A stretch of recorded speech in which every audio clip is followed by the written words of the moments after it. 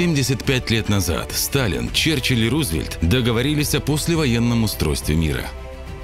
Советская делегация разместилась в Юсуповском дворце. Британским гостям выделили Воронцовский. Американцы жили в Ливадийском. Там же проводились главные переговоры. Всего в Ливадии состоялось 8 заседаний.